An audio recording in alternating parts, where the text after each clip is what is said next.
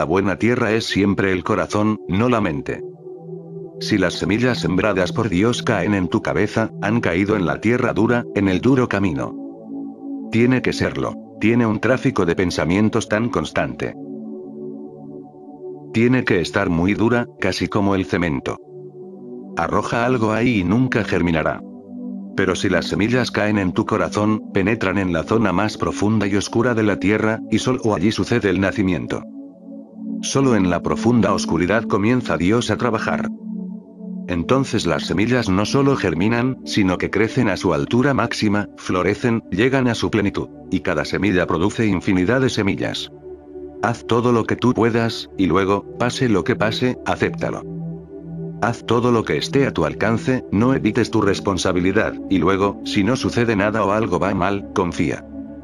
Confiar en Dios pero seguir siendo un hacedor, supone que ahora tú solo eres un instrumento. Dios es el hacedor real, y tú te has convertido en un instrumento en sus manos. Aún en los albores del siglo XXI, millones de personas todavía creen que lo que necesitan hacer es únicamente creer en que Dios les ama. Y entonces pueden seguir haciendo cualquier cosa que quieran serán salvados. Muy barato, solo creer. El hombre se ha visto obligado a luchar contra una profunda inclinación que la existencia le ha concedido, contra su anhelo de encontrar la verdad, porque las tradiciones le enseñan. No necesitas buscar la verdad, ya ha sido encontrada.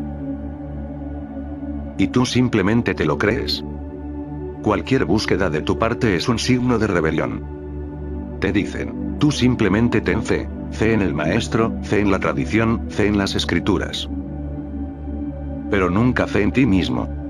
Duda significa que no tienes ninguna postura, que estás listo para preguntar con una mente abierta. Significa búsqueda, pregunta. La duda es el mejor punto por donde comenzar.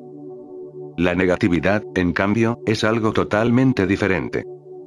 Significa que acarreas un prejuicio, que de entrada has adoptado una postura, en contra. A no ser que aprendas a dudar, tu inteligencia no crecerá, porque duda significa búsqueda. El creyente no es un buscador. No está interesado en buscar sino en evitar la búsqueda. Por eso cree. El creyente quiere ser liberado, salvado, y por eso necesita un salvador. Siempre anda buscando un Mesías. Alguien que coma por él, que mastique y digiera por él. Pero si el que come soy yo, tu hambre no quedará saciada. Nadie puede salvarte excepto tú mismo. Un niño pequeño presentó a su padre el siguiente resumen de la catequesis del domingo. Estaban esos judíos que se habían escapado de un campo de prisioneros en Egipto. Corrieron mucho hasta llegar a un lago muy ancho. Los guardias de la prisión les rodeaban de modo que los judíos saltaron al agua y nadaron hasta algunos barcos que les estaban esperando. Los guardias se montaron en submarinos y trataron de torpedear los barcos, pero los judíos lanzaron unas cargas de profundidad e hicieron explosionar todos esos submarinos y llegaron a salvo a la otra orilla. Todo el mundo aclamó al almirante repitiendo su nombre de pila, Moisés.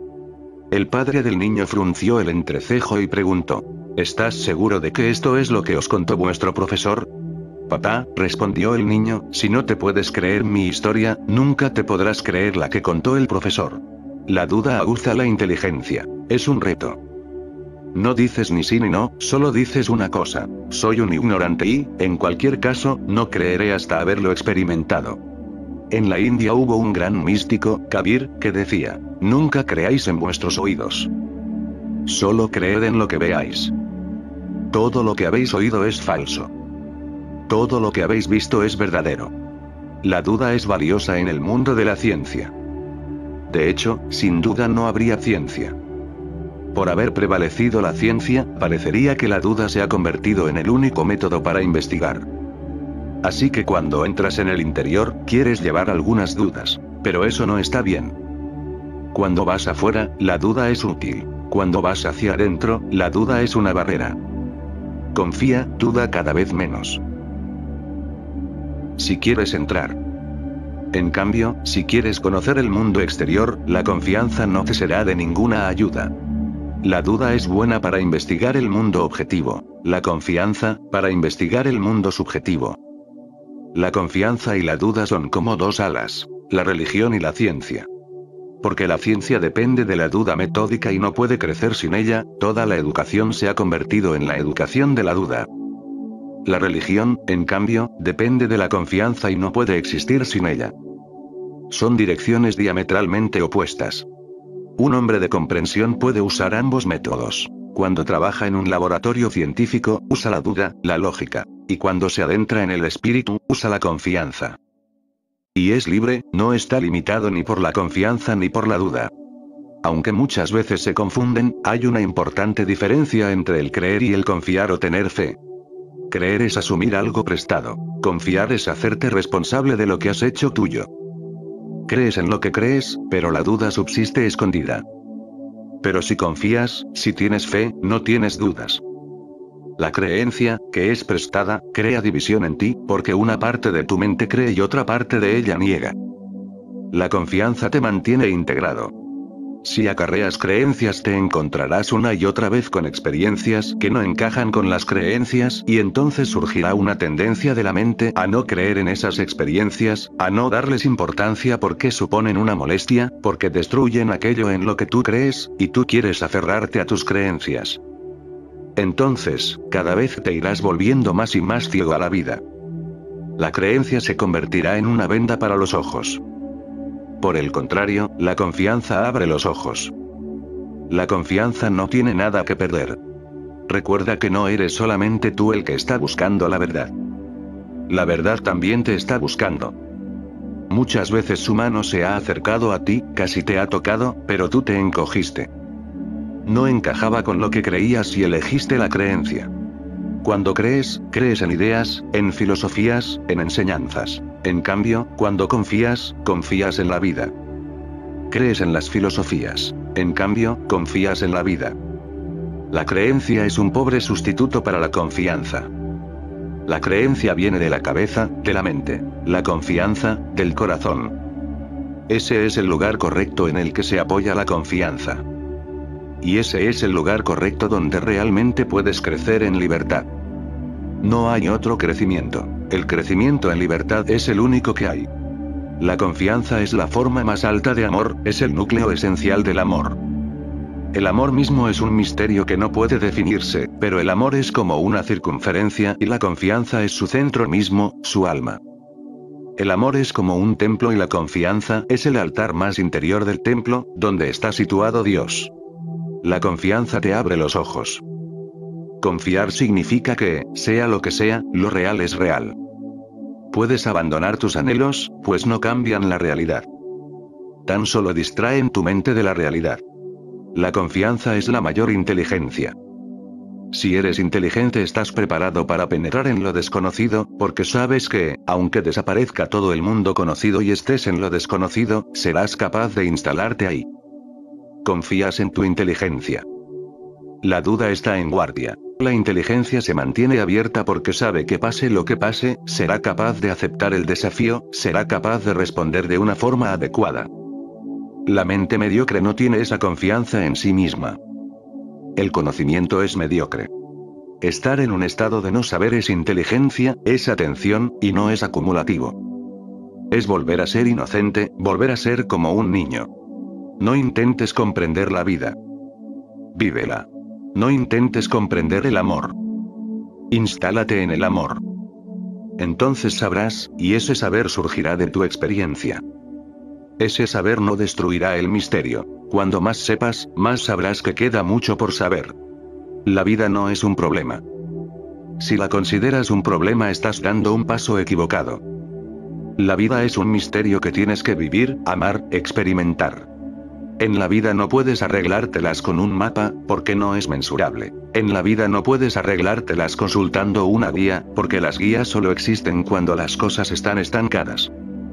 La vida no está estancada, es dinámica, es un proceso. No puedes hacer un mapa de la vida. No es mensurable, es un misterio inconmensurable. No busques explicaciones. Lamentablemente, a través de la historia las religiones han convertido la confianza en una creencia y no en una experiencia. Se ha enseñado a creer, pero no se ha enseñado a saber. Cuando dudas te angustias, vives una pesadilla, de modo que algún día empezarás a intentar salir de ella. Será tu esfuerzo. Pero si te han enseñado a creer desde la infancia, habrán condicionado tu mente para creer. Todas esas creencias son prestadas. Te han sido dadas por otros, no son tus flores. No son tuyas. Por ello, las creencias nunca pueden calar demasiado hondo, comprometer todo tu ser. Permanecen a flor de piel. De modo que si rascas un poco, aparecerá la incredulidad. Hay, pues, una gran diferencia entre confianza y creencia. La confianza es personal, la creencia, social. Tienes que desarrollar la confianza y revisar tus creencias. Tendrás miedo, porque cuando revisas tus creencias, surge la duda. Cada creencia obliga a la duda a esconderse en alguna parte, reprime las dudas. No te preocupes por eso, deja que surjan dudas. Todo el mundo tiene que pasar por la noche oscura antes de que llegue el amanecer.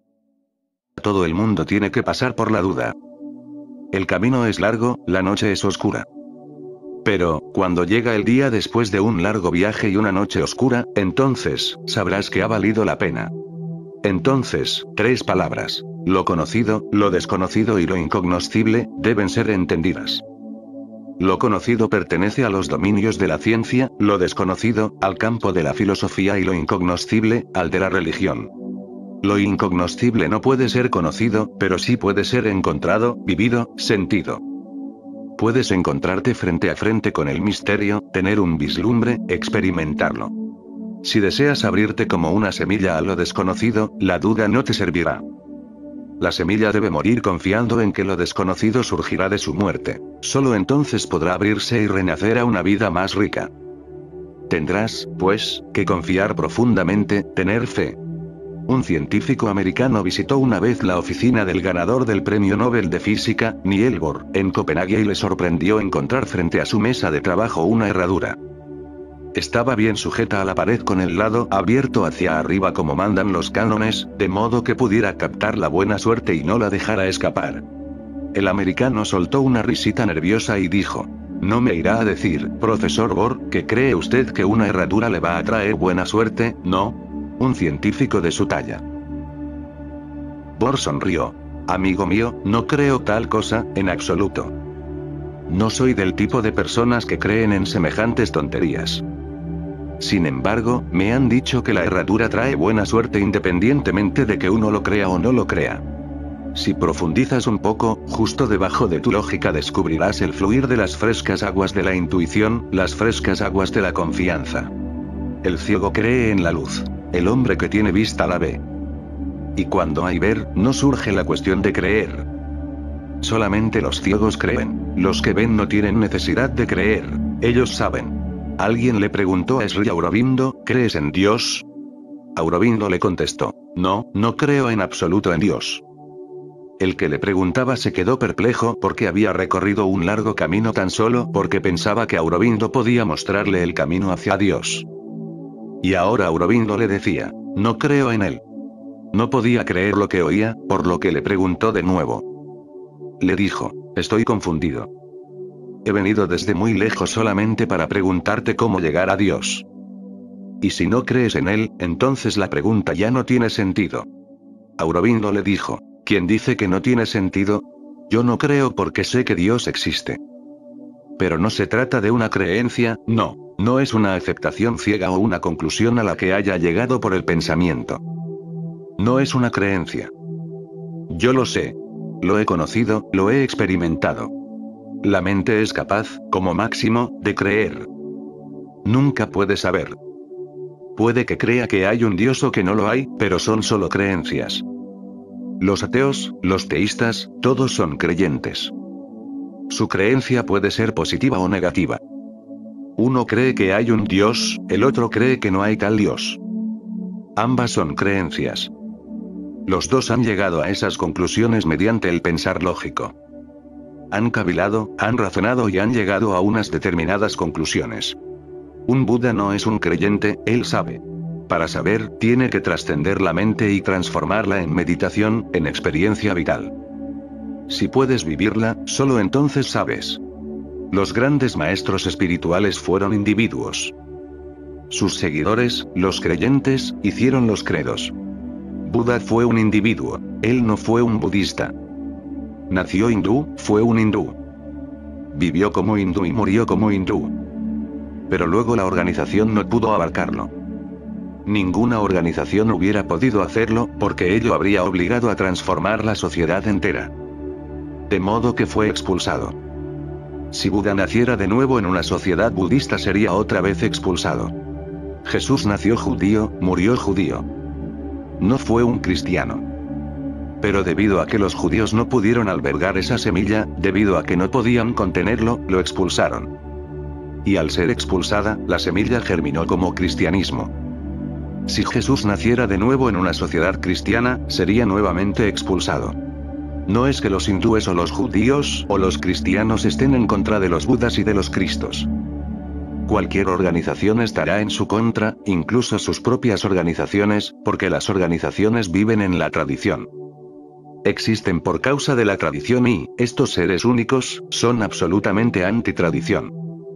Se mueven a cada instante en libertad, no puedes saber qué es lo que van a hacer. Por eso es difícil crear una secta o una iglesia cuando vive un iluminado. Es imposible. Nunca sabes qué es lo que va a hacer, qué es lo que va a decir. Cuando el maestro ha muerto, recién entonces se puede crear la secta. Entonces, ahora sí, ya sabes qué es lo que el maestro decía y hacía. Entonces puedes clasificarlo todo. Entonces puedes dedicarte a separar, dividir, analizar, puedes crear una doctrina y sus bases. Entonces se puede fabricar un credo. Solamente un maestro muerto puede dar origen a un credo. Con un maestro vivo, la semilla crece cada día, cambia, se transforma, se adentra en lo desconocido. Nunca estás seguro con lo que pasará. Solamente con los maestros muertos, nacen los credos. Y cuando nacen los credos comienzas a pensar en Jesús y en Buda como cumbres, y olvidas que ellos crecieron en espiritualidad a causa de un gran esfuerzo individual. Y entonces piensas que ya todo ha sido hecho y que tú solo puedes ser un seguidor, un creyente, un adorador, un devoto. Tiendes a olvidar que la espiritualidad es un fenómeno individual y que también a ti te podría sobrevenir. Me gustaría que hubiera más budas, pero no más budistas. Ya son suficientes. Todo el mundo puede decir que hay claridad y un arco iris en el cielo, y que está saliendo el sol. Pero si tengo los ojos cerrados, ¿qué sentido tiene todo eso para mí? El arco iris, los colores, el amanecer. Todo eso es inexistente para mí, pues tengo los ojos cerrados. Soy como un ciego. Pero si les presto demasiada atención y empiezo a creer demasiado en sus palabras, me pongo a hablar también del arco iris que no he visto, de los colores que no puedo ver y del amanecer que no forma parte de mi experiencia, puedo acabar perdiéndome en la selva de las palabras. Más vale decir, soy ciego, no distingo ningún color ni he visto ninguna luz, de modo que, a menos que se me abran los ojos, el sol no existe ni puede existir el amanecer. Insiste, hasta que puedas basarte en tu mirada. No te cargues de libros, pues no hablan más que de arcos iris vistos por otros y amaneceres que otros han experimentado. La gente que cree ciegamente no puede alcanzar ninguna comprensión, ningún saber que sea para ellos significativo. El viaje de los que estando ciegos se aferran al hecho de que si los demás dicen que la luz existe, no hay duda de que existe, termina ahí mismo. El viaje solo puede continuar cuando la inquietud y la búsqueda permanece. Dentro de la mente tiene que existir un tipo de inquietud que te haga decir, solo lo aceptaré cuando lo haya vivenciado o vitalmente experimentado, cuando haya tenido una comprensión personal, un vislumbre. Una persona religiosa es aquella que es sincera. Sincera significa que ni cree ni deja de creer en lo que no sabe ni comprende. Simplemente, declara con total sinceridad que no sabe, que es ignorante. No es una cuestión de aceptación o rechazo. Dijo Albert Einstein, soy un no creyente profundamente religioso, y esta fue, sin duda, una expresión muy sincera. La creencia la tomas prestada de los padres, de la sociedad en la que naces. Es accidental. Crees por inercia, por miedo, por codicia, pero no por amor. La creencia es una treta de la mente para reprimir la duda, porque la duda crea problemas, te mantiene en un permanente estado de confusión. El hombre nace con una gran disposición para la duda, para el aprendizaje en todos los campos, y es natural, es un don de Dios. Cuando no tienes suficiente coraje como para vivir en el estado de confusión que crea la duda, de inmediato la reprimes, y la manera de reprimirla es creyendo. La creencia significa que le tienes miedo a la duda, es un sustituto muy barato de la confianza. La fe, en el sentido de creencia, es un condicionamiento, es una atadura. El hombre de fe es un prisionero. Debe abandonar la fe antes de poder alcanzar la confianza. El camino hacia la confianza es, pues, la duda, y duda hasta el final mismo. Sigue hasta el final. No reprimas tu duda en ningún punto, de otro modo te perderás la confianza. La confianza surge de la duda, no reprimiéndola sino experimentando la duda hasta su extremo último. Cuando no hay nada de lo cual dudar, la duda muere, se suicida, porque no existe nada que la mantenga andando, nada más que la alimente. La verdad tiene que ser experimentada, no creída. Solo la confianza te ayuda a conocer la verdad por ti mismo. La confianza es así la apertura última, te ayuda a que conozcas la verdad por ti mismo. La verdad libera, pero tiene que ser tu propia verdad experimentada. La verdad de cualquier otra persona inevitablemente creará esclavitud para ti. Hay que aprender a confiar cuando esté presente la duda. Y observar la belleza que encierra el confiar mientras se duda. Entonces la energía se trasladará a la confianza, la energía de la duda será absorbida por la energía de la confianza. Y llegará un día en que la duda habrá desaparecido. De modo que no le prestéis atención, no la alimentéis, porque la atención es su alimento. Si no puedes creer en ti no puedes creer en nadie, y nadie puede creer en ti. La fe de un hombre que está vacío, que no sabe nada de sí mismo, la fe de un hombre que vive en una profunda oscuridad e inconsciencia, la fe de un hombre sin fe. Es una enfermedad mundial, porque todos esperan que algún otro pueda llenar su vacío, iluminar su oscuridad. Tienes que enfrentar y aceptar tu vacío, tu miseria, tu soledad. Porque en tu aceptación está escondida una gran revolución, una gran revelación. Entonces, se torna exactamente lo opuesto. Se torna abundancia, plenitud, un desbordamiento de energía y alegría.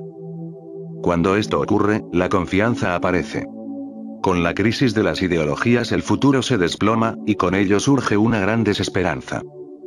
Hasta ahora, el mundo ha vivido con gran esperanza, pero de pronto las esperanzas desaparecen y se asienta la desesperanza. Esto es de inmensa importancia. Esta crisis en la conciencia humana es de gran importancia. O bien el hombre ha de desaparecer de la Tierra, o bien tendrá un ser totalmente nuevo, supondrá un nuevo nacimiento. Ahora ya no hay nada que anhelar aquí en la Tierra. Ahora el anhelo puede elevarse alto. Ahora lo visible está acabado y podemos buscar lo invisible. Ahora la vida mundana corriente carece de encanto, ha perdido todo júbilo. Hemos satisfecho todos los deseos, todos los posibles deseos, y ellos no nos han satisfecho a nosotros.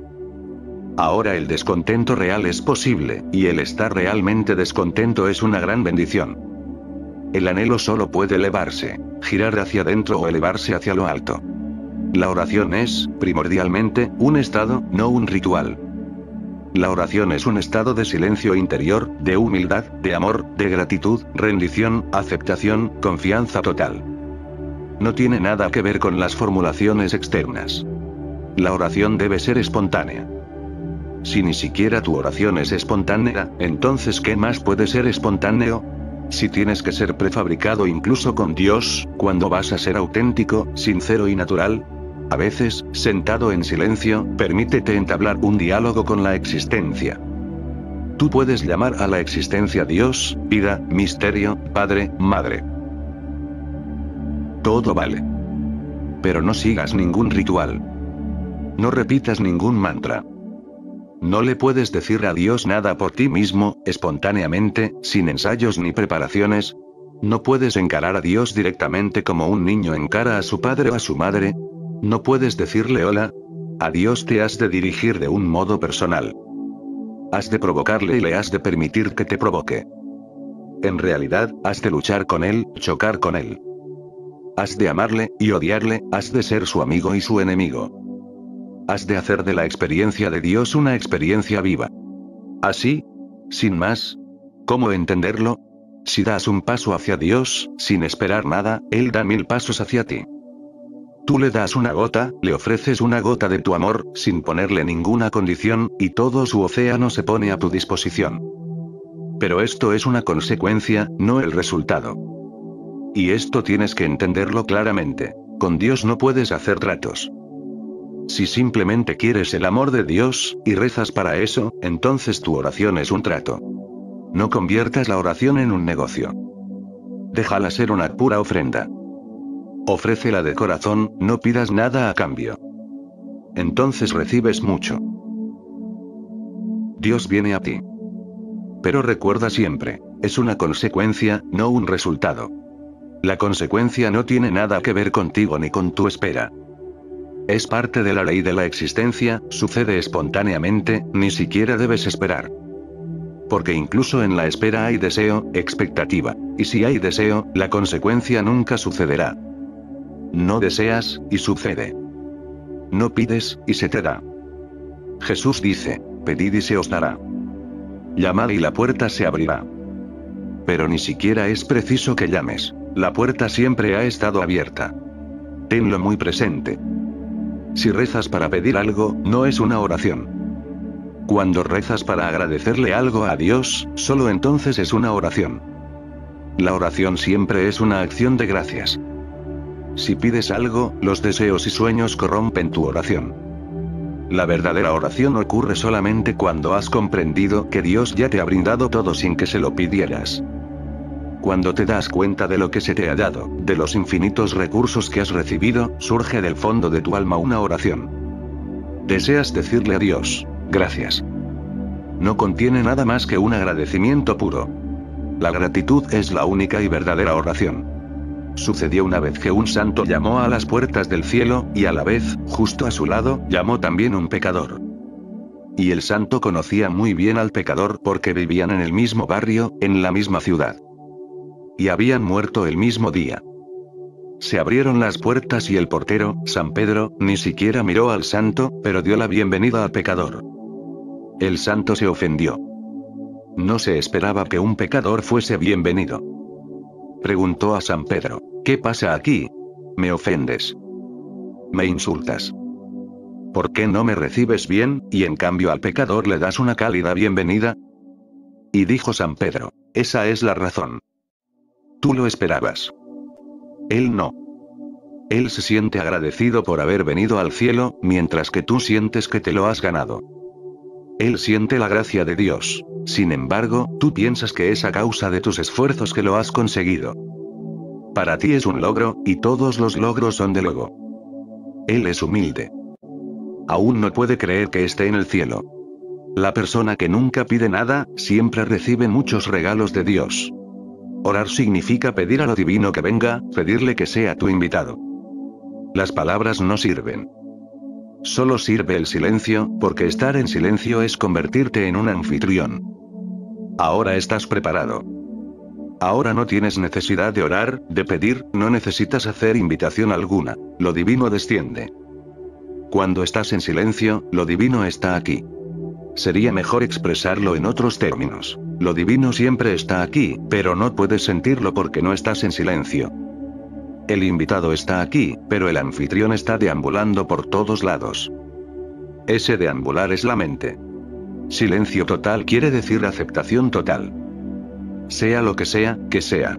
Un místico sufí solía ir a la mezquita todos los días y se quedaba allí de pie sin decir ni una sola palabra, durante años y años. La gente se puso curiosa.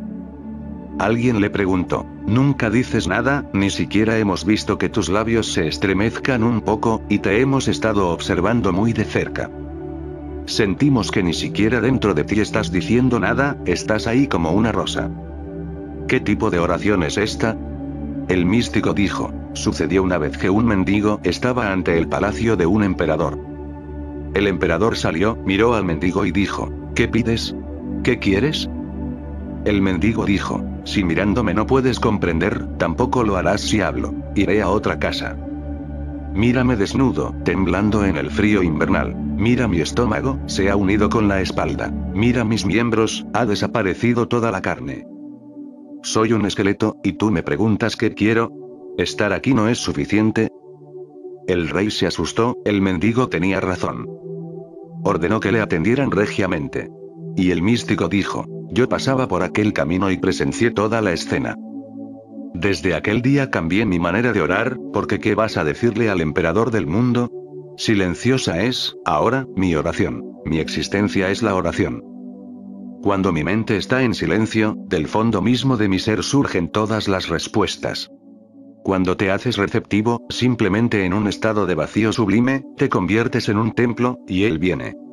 Cuando concebimos a Dios como energía divina, la oración y la adoración carecen de significado. No tiene significado tener expectativas acerca de Dios. Si deseas que esa energía divina se convierta en una bendición, en gracia para ti, tendrás que esforzarte para producir algún cambio en ti.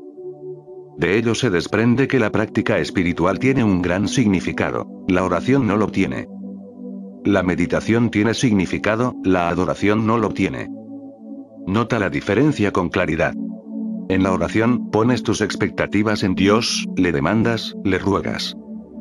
En la meditación, tú trabajas sobre tu propio ser. En la adoración, estás haciendo algo con Dios. En el esfuerzo espiritual, estás haciendo algo sobre ti mismo. El esfuerzo en pro del crecimiento espiritual significa que estás transformándote a ti mismo de tal forma que no te hallas en desacuerdo con la existencia, con la verdadera religión. Entonces, cuando el río de la vida fluye, la corriente no te arrastra. Por el contrario, te encuentras en la orilla donde las aguas que pasan fortalecen tus raíces, en lugar de llevárselas por delante. En el momento en que vemos a Dios como energía divina, cambia la estructura total de la religión. La bondad y la maldad. Solo existe una forma de acceder a la bondad, y es aportar más conciencia a tu ser. La conciencia no es algo que se pueda cultivar, está ya ahí, solo hay que despertarla. Cuando estás totalmente despierto, todo lo que hagas será bueno, y lo que no hagas será malo. No lo harás porque tu conciencia te lo impedirá. Dentro de una persona buena se esconde una persona malvada, y dentro de una persona malvada se esconde una persona buena. Una persona buena tiene la cara buena de la moneda hacia arriba y la cara mala hacia abajo. Cuando una persona buena se vuelve mala, es peor que la persona más malvada. Y si una persona malvada se vuelve buena hará palidecer, en comparación, a la persona buena. En una persona mala, la bondad se ha escondido totalmente, solo se ve la maldad. Pero si cambia y se vuelve un buen hombre, las demás personas buenas palidecerán a su lado. Una fuerza de bondad fresca y oculta emanará de él. Nunca pierdas el tiempo preguntando a alguien qué está bien y qué está mal. La vida es un experimento para averiguarlo. A veces te comprometerás con lo que está mal, pero eso te aportará experiencia, te hará consciente de lo que hay que evitar. A veces quizá hagas algo bueno y te beneficiarás inmensamente de ello. Experimentarás la bendición. Porque los castigos y las recompensas no te esperan más allá de la vida, en el cielo y el infierno. Suceden aquí y ahora. Cada acción provoca su resultado de forma inmediata. Solo tienes que estar alerta y vigilar. Llamo maduro al hombre que ha vigilado y averiguado por sí mismo qué está bien, qué está mal, qué es bueno, qué es malo. Y al hacerlo, adquiere una tremenda autoridad. Todo el mundo puede decir otra cosa, para él es lo mismo. Posee su propia experiencia y eso es lo decisivo. Puedes concentrar toda tu energía en el odio o la ira, o puedes concentrarla en el amor. Es tu elección. Pero dice Jesús, no resistas al mal. Porque si te resistes a él, si te le enfrentas, toda tu energía irá hacia el odio o la venganza y allí arderá como una hoguera. No resistir al mal no es una enseñanza moral, es una enseñanza alquímica. Cualquiera sea el impulso interior, si desaparece a través de la comprensión y de la conciencia, era malo. Si a través de la comprensión se profundiza, es una virtud. Cuanto más comprendas, el mal desaparecerá y el bien se arraigará con más fuerza. La furia desaparecerá y la compasión se profundizará. La ambición desaparecerá y la solidaridad se profundizará. El sexo desaparecerá y el amor se profundizará. Un hombre virtuoso no es nada más que un hombre comprensivo y consciente. Un pecador no es nada más que un hombre que no entiende. El hombre auténticamente religioso es el que comprende. No tiene juicios ni condenas. Solo sabe una cosa, que ningún acto es bueno y ninguno es malo. La conciencia es buena y la inconsciencia es mala. El inconsciente puede incluso hacer algo que a todo el mundo le parece bueno, pero para el hombre religioso no es bueno. Y puedes hacer algo malo, y todos te condenarán excepto el hombre religioso. Él no puede condenarte, porque no eres consciente. Necesitas compasión, no juicio ni condena. No mereces el infierno, nadie merece el infierno. Todo el mal puede ser disipado por la luz. La gente viene a preguntarme, usted enseña que es posible alcanzar la iluminación instantáneamente. Pero entonces, ¿qué sucede con nuestros karmas pasados? Nada, ellos son de la naturaleza de la oscuridad. Puede que hayas robado, asesinado. Puedes haber sido un Hitler, un Tamerlán, o algo peor. Pero eso no importa. Una vez que, te has hecho consciente, la luz entra y todo el pasado desaparece de inmediato. Ni por un minuto permanece. Si has asesinado, lo hiciste porque no eras consciente de ti mismo, de lo que estabas haciendo. Jesús dijo en la cruz, Padre, perdónalos porque no saben lo que hacen. Simplemente decía, esta gente no es de la naturaleza de la luz, no tienen recuerdo de sí mismos, actúan en completa inconsciencia, se mueven y tropiezan en la oscuridad. Perdónalos, no son responsables de lo que están haciendo. ¿Cómo una persona que no tiene el recuerdo de sí mismo podría ser responsable? Cualquier cosa que hayas hecho, yo te lo aseguro, no te preocupes. Ha sucedido así porque no eras consciente. Enciende tu llama interior, encuéntrala, está ahí. Y de repente todo tu pasado se desvanecerá como si hubiera sucedido en un sueño, cuando no eras consciente. Todos los karmas sucedieron en sueños y son de la misma sustancia de ellos. Esta es una de las cosas fundamentales que el Oriente ha descubierto. Los cristianos no pueden comprenderlo y siguen pensando en el juicio final, cuando todos serán juzgados de acuerdo con sus actos. Los judíos tampoco lo pueden entender, ni los maometanos.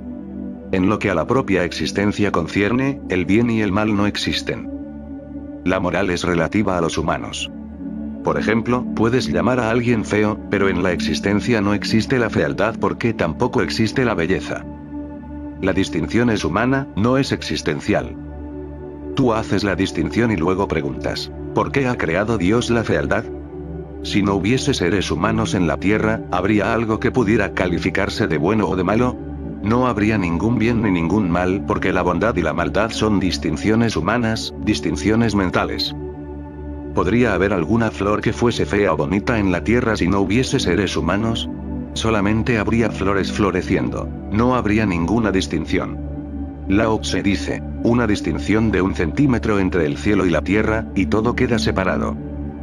Una distinción de un centímetro entre lo bueno y lo malo, y todo queda separado. No se debería hacer distinción alguna. Por eso es por lo que religión no es moralidad. La religión está más allá, porque la moralidad no puede existir sin distinciones, y la religión no puede existir con distinciones. La moralidad no puede existir sin crear el otro. Depende de la división en opuestos, el bien y el mal, y así sucesivamente. Así que Dios y el demonio no son parte de la religión sino de la moralidad. El concepto de Dios como opuesto al mal, al diablo, no es en realidad un concepto religioso. Es un concepto moral. Escoge el bien a través del mal. Conoce el mal a través del bien. Son uno. Siente esta indivisible unidad. Contempla la vida a través de la muerte, y la muerte a través de la vida, no como opuestos, sino como uno, como los dos extremos de una misma realidad. En la parábola de Jesús sobre el hijo pródigo, el hijo mayor, profundamente resentido, dijo a su padre, Tú nunca has matado un becerro por mí, y ahora que tu hijo regresa después de haber gastado tu hacienda equivocadamente, lo celebras. El padre contestó, Sí, puesto que siempre has estado conmigo, no es necesario celebrarlo. Pero él se había perdido y ha regresado, hay que celebrarlo. Esto significa que si siempre te conservas en el camino correcto, no serás festejado por la existencia. Serás un simplón sin riqueza de vida. Serás una sola nota, no una melodía. Una línea recta, sin curvas y rincones que es lo que da a la vida su misterio, su profundidad.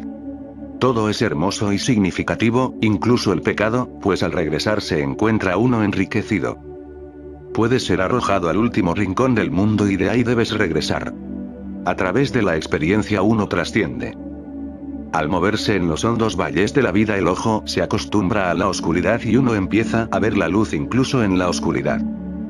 ¿Qué mérito tiene ver la luz en pleno día? Lo hermoso es poder mirar el día escondido en la oscuridad de la noche cuando tus ojos han sido entrenados. La belleza. ¿Qué significa que algo sea feo? Si el hombre no estuviese en la tierra, ¿existiría la belleza y la fealdad? Por supuesto que los árboles existirían y florecerían, las lluvias llegarían, y una estación seguiría a la otra. Pero la belleza y la fealdad no existirían. El sol saldría y en la noche las estrellas llenarían el firmamento, pero nada sería hermoso ni feo. Esto es solo factura humana. Toda dicha surge de la creatividad. Si no creas algo, no puedes sentirte dichoso. Es imposible. Solo Dios puede ser dichoso. Y por ello, al crear algo, te conviertes en un pequeño Dios. Cuando creas algo, participas con Dios. Cuando creas algo, le permites a Dios fluir a través de ti. En realidad, cuando quiera que se cree algo, siempre lo crea Dios. Tú eres el instrumento, el medio. Estás poseído por Dios. Las personas creativas traen algo de lo desconocido al mundo de lo conocido, se convierten en cañas huecas para dejar que Dios fluya a través de ellas por alguna razón inexpresable permiten que la vida entre en su templo más interno y eche raíces en su ser. Y quedan preñados de vida, preñados de Dios. Algo muy extraño les sucede. Pueden ver cosas que nadie ha visto antes, pueden escuchar sonidos que jamás nadie ha escuchado. El arte verdadero aparece cuando el artista desaparece en su arte. Cuando el pintor pinta con tanto abandono que ya no está allí, cuando, incluso, se siente culpable de firmar su pintura porque sabe que él no la ha hecho. Una fuerza desconocida la ha realizado a través de él, sabe que ha sido poseído. Esa ha sido la experiencia de todos los grandes y verdaderos artistas a lo largo de los tiempos, la sensación de ser poseídos. Cuanto más grande es el artista, más clara es esta sensación. Y todos los grandes, Mozart, Beethoven, Tagore, todos los grandes están absolutamente seguros de que no han sido otra cosa que bambúes huecos, y que la existencia ha estado cantando a través de ellos. Han sido flautas, pero su canción no les pertenece. Ha fluido a través de ellos, pero viene de una fuente desconocida. Ellos no lo han impedido, eso es todo lo que han hecho, pero no la han creado. Esta es la paradoja. El auténtico creador sabe que él no ha creado nada, la existencia ha trabajado a través de él. Él ha sido un instrumento. Ese es el verdadero arte, en el que el artista desaparece. Entonces el arte se convierte en religiosidad. Un artesano tiene el medio, puede que tenga el medio perfecto, pero no tiene mensaje que ofrecer. Su corazón no está rebosante. Su cabeza y sus manos cooperan, pero el corazón permanece a distancia, sin ser tocado. El verdadero artista transmite un mensaje del corazón. Mira los árboles de Van Gogh. Son tan altos que tocan la luna y las estrellas. Son absolutamente originales. No los ha copiado de la naturaleza ni de nadie. Mis árboles, dijo Van Gogh, son manos, sueños y deseos de la tierra. Si él hubiera sido un dios, los habría creado y plantado. En la pintura él es un dios, un creador. Un día un filósofo realista visitó al famoso pintor Pablo Picasso. El filósofo le decía que la pintura abstracta, era absurda, porque no representaba la realidad como es. No me gusta su pintura, dijo el filósofo, la pintura debería ser realista. Si pinta a mi esposa, su retrato debería parecérsele. Sacó una foto de su mujer y dijo, mire. El cuadro debería ser así. ¿Es ella su esposa? Dijo Picasso mirando la foto. Sí, es ella, dijo él. Es imposible. Es muy pequeña y plana, dijo Picasso. Esta foto no puede ser su esposa.